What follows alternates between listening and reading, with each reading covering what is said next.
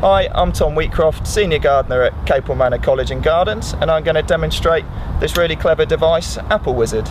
It's a really simple way of picking up apples, nuts, and even tennis balls.